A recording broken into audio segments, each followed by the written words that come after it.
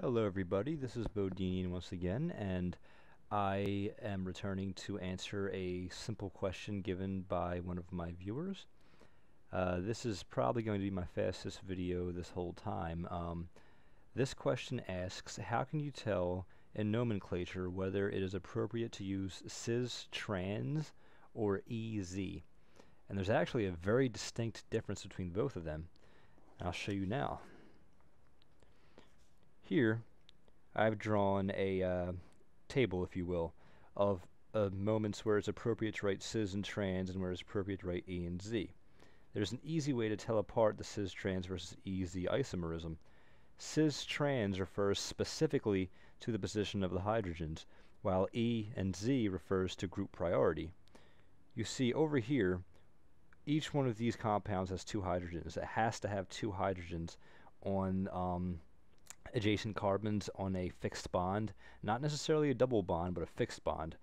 And these hydrogens, based on where their positions are relative to each other, will designate the compound as being cis or trans. Cis when the hydrogens are on the same side, trans when they're um, like across from each other.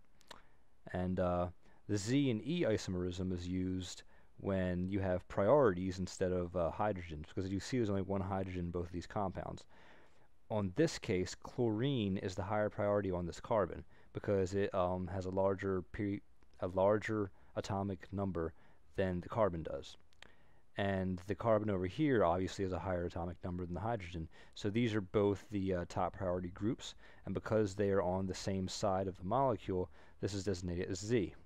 On this one, the chlorine and the carbon are still the high priority groups, but now they're on, like are across from each other as opposed to being on the same side.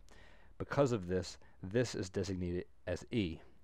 So, cis-trans is only used when referring to positions of hydrogens, and EZ is used when referring to the positions of high priority groups across a fixed bond. Thank you very much, and I hope to get even more questions from you soon.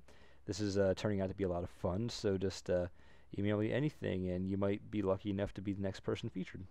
Have a nice day.